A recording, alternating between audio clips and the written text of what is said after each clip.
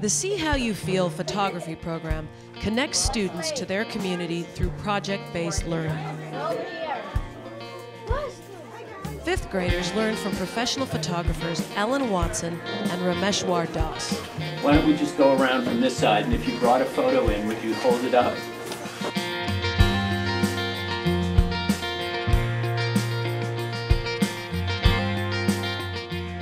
See How You Feel took place both in the classroom and outdoors. The program concluded with a field trip to shoot on location at an organic community farm, Quail Hill. The curriculum began with an overview of photography. Students were asked to bring an image that meant something special to them. What do you find when you look at somebody's face? What is the part that uh, is most expressive?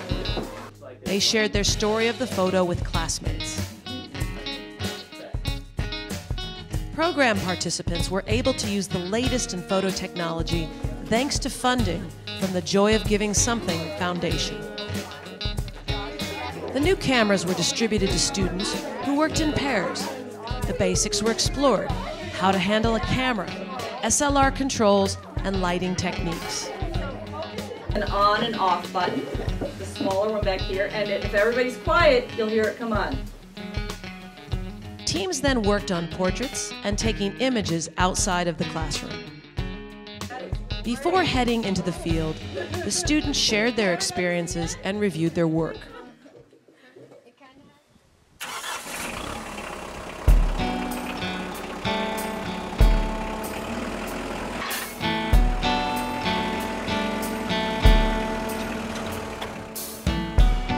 When the fifth graders arrived on location, they were given one final tool a slide mount to use for composing their shots.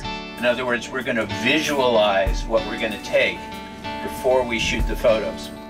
So this is The young photographers then set out to visually explore the farm using all of the other tools and lessons learned from the classroom. Awesome! I love it.